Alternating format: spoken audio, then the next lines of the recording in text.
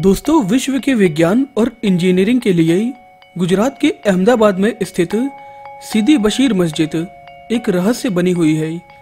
रहस्यमय सीधी बशीर मस्जिद ऐसी है कि वह इस तरह से हिलती है, जैसे कि कागज़ की बनी हो। कोई भी व्यक्ति इसे हिला सकता है। लोग आते हैं और मस्जिद की एक मीनार को हिलाते हैं। ऐसे करते ही मस्जिद की दूसरी मीनार खुद ब खुद हिलने लगती है।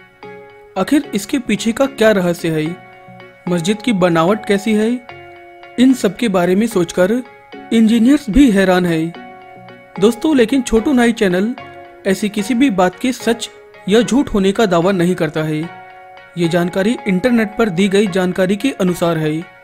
अगर आपने हमारे चैनल छोटू नाई को सब्सक्राइब नहीं किया है तो ऐसे और वीडियो देखने के लिए आप हमें सब्सक्राइब करें।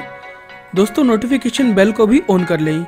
ताकि हमारे आगे के वीडियोस आप तक सबसे पहले पहुँचे। जी हाँ दोस्तों, यह बात एकदम सच है। आप बेशक यकीन ना करें, लेकिन सालों बाद भी कोई नहीं जान पाया है कि ऐसा क्यों होता है।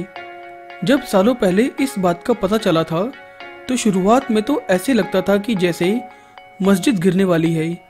कई इंजीनियर्स यहाँ आए और उन्होंने इसकी जाँच की, लेकिन तब भी मस्जिद में कोई कमी किसी को नहीं नज़र आई।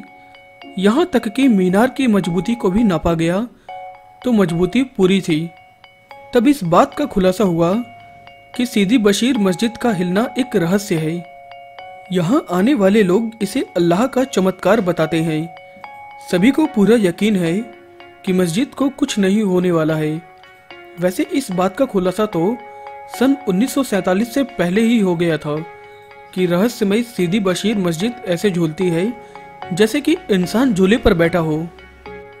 जब अंग्रेज़ों को इस बात का पता चला था, दोस्तों, जब अंग्रेज़ों को इस बात का पता चला था तो उन्होंने इसकी जाँच कराने की सोची। ब्रिटिश शासन काल में इस रहस्य को समझने के लिए ब्रिटेन से इंजीनियर्स बुलाए गए थे। उन्होंने मीनारों के आसपास खुदाई भी की थी, लेकिन सारी कोशिशें बेकार ही रही। यह जानकर आश्चर्य होगा कि अनेकों बार भूकंप के झटकों से यहाँ की ज़मीन तो हिली, लेकिन ये मीनारें जस की तस खड़ी रहीं।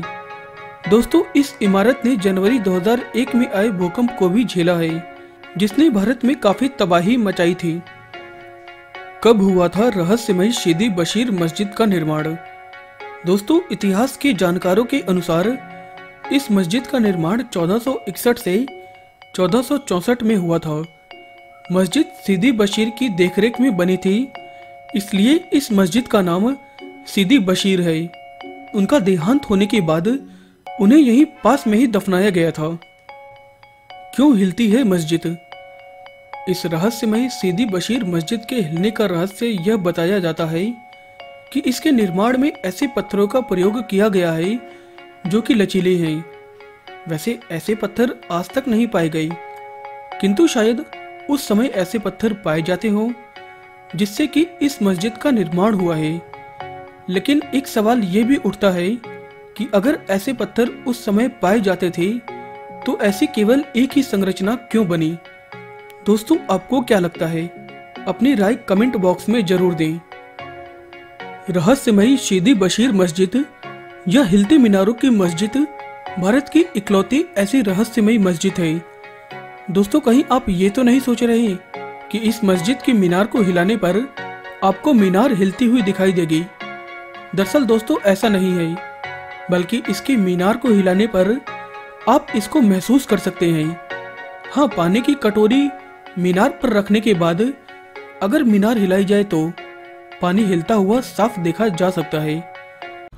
दोस्तों, अगर आपको हमारा यह वीडियो पसंद आया है तो आप इसे लाइक और शेयर करना ना भूलें। आप हमें फेसबुक और ट्विटर पर भी फॉलो कर सकते हैं और आप हमारी वेबसाइट छोटू नई डॉट कॉम पर भी विज़िट कर सकते हैं।